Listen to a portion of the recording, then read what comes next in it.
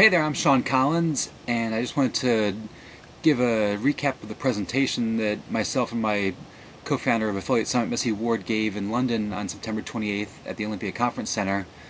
Um, since she's still currently traveling around in Europe, I'm going to have to do this presentation solo, and so um, as sort of a, a, little assistance to any of the viewers here, I'm going to do a little visual cue.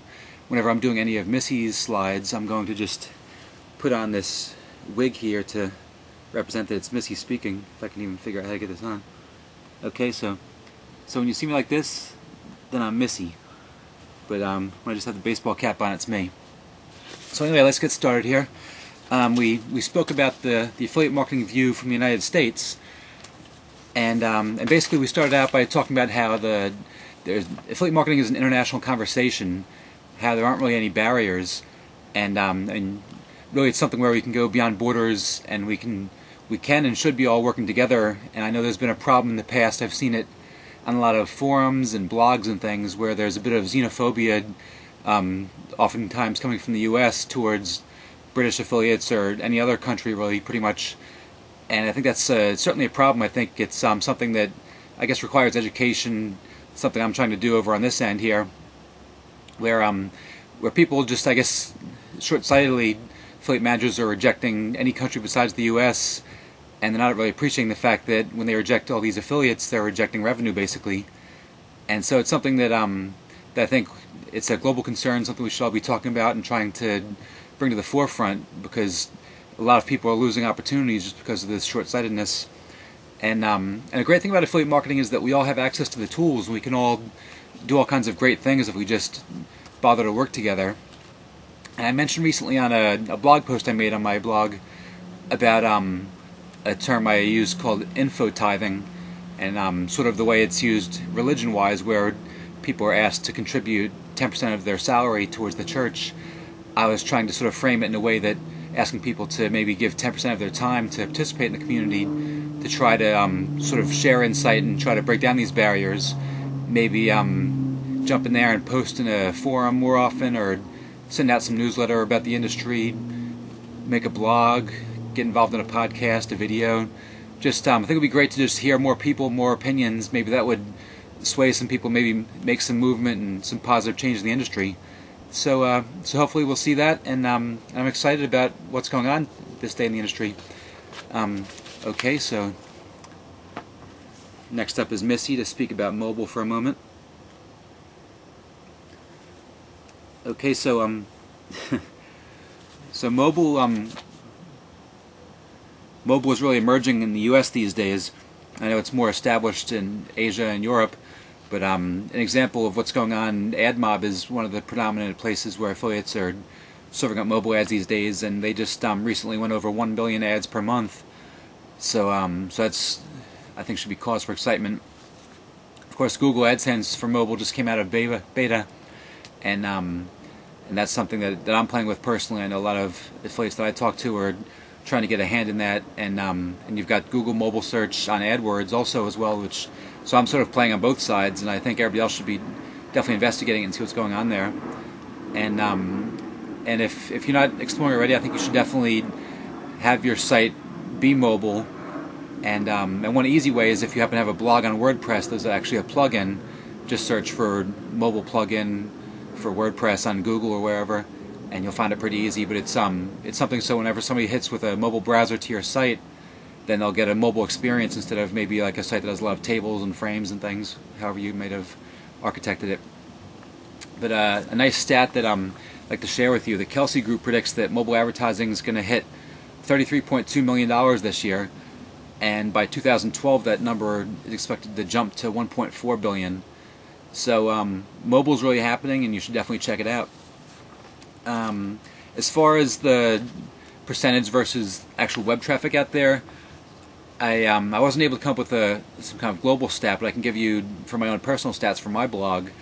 And I um, I took a look at the numbers for August 2007, and I and I just um, just about two months ago I started up having a the mobile version of the of my blog at affiliatetip.com, and before that people were just all going to my main blog. So um, so now I, have come to realize that 8% of the people are actually watching it or viewing it from a, a mobile phone, So to sort of push those people away is really essentially just chasing away revenue that's trying to come to you. So um, you should definitely be paying attention to mobile and um, and get a grip on it, learn about it, and and start monetizing it. Okay, now back to Shawn. Okay, so now I'm going to talk about video, and something I've been very passionate about, very excited about. There are a lot of opportunities out there. Um, a little stat for you. According to ComScore, in May 2007, 130 million Americans are viewing video online, and um, that number just keeps increasing. And one thing people seem to just sort of take for granted, they they figure that it's all about YouTube, that's where all the views are taking place, but it, it, that really isn't the case. I'm going to go into that more in a moment. Um, a couple different opportunities for, I guess, networks, merchants, affiliates, everybody to really jump into this. Merchants can produce some commercials that they make available to their affiliates as creative, and then affiliates themselves, they can go out there and they can make some affiliate-generated video, and, and of course networks can sort of oversee this and try to advise both sides. An example of affiliate generated video is something that I'm doing myself with Missy here. And uh, what we're doing is we have a, a new site called weviews.tv, W-E-V-I-E-W-S.tv. And basically what we do is we do like a 60 to 90 second video where we review different products and services. And with that we um within the we post it to a blog as well as um, up to nine different video sites. And the what we say in that actual video blog we transcribe that and post that to the blog with it with the video. So it um it's very keyword rich, and um, we're seeing it get indexed very quickly. And of course, in that text, we we build in affiliate links. And so far, it's just been going on for a month or two, and um and we're seeing excellent results. Something I definitely encourage people to check out. And as far as the, I mentioned that I upload to nine different sites. I, um, I have a very compelling stat for you here. And and one thing I, as far as uploading to those sites, I, I use a tool called TubeMogul.com, and basically instead of just manually uploading to each of these sites, it enables you to upload to all nine sites at once. And I'll show you a slide here of the different sites that I use. But as far as YouTube not really owning the space like people seem to figure they do, um, for our site WeViews, I have um, I found that of all the views that we get per video we upload, 57% are actually coming from MetaCafe um, Brightcove averages out to about 0%, a few for each video. YouTube just 9%. Yahoo is giving us 16% of our views. Revver 11%. Dailymotion 6%, and then a, a slim 1% for MySpace. So um, there's something coming from all these different sites. It's definitely worthwhile to just um, test out for whatever your vertical is. We're finding that I guess people that like consumer reviews seem to be at MetaCafe, whereas um, I guess MySpace and Brightcove aren't really performing for us, but they might for you. So um, definitely test and test again, just see what works for you. And now I'm going to hand this over to Missy. One second here. Okay, so I'm just going to talk about Web 2.0 and some different things, um, some resources real quick. Um, we're running out of time here, but Blog Talk Radio is a great site for running your own podcast. Flickr for using um, pictures. Uh, MediaWiki is a great thing for um, powering. It's what powers Wikipedia, and um, it's a a great um, platform if you want to have your own wiki. Ning is good for social networks. Twitter is a really neat microblogging platform. Tumblr is a place where you can have a blog and also aggregate different RSS feeds. And then finally, WordPress is sort of our blog platform of choice. And um, and so that's it. Sorry we had to rush through that, but um, the, we're sort of short on time and.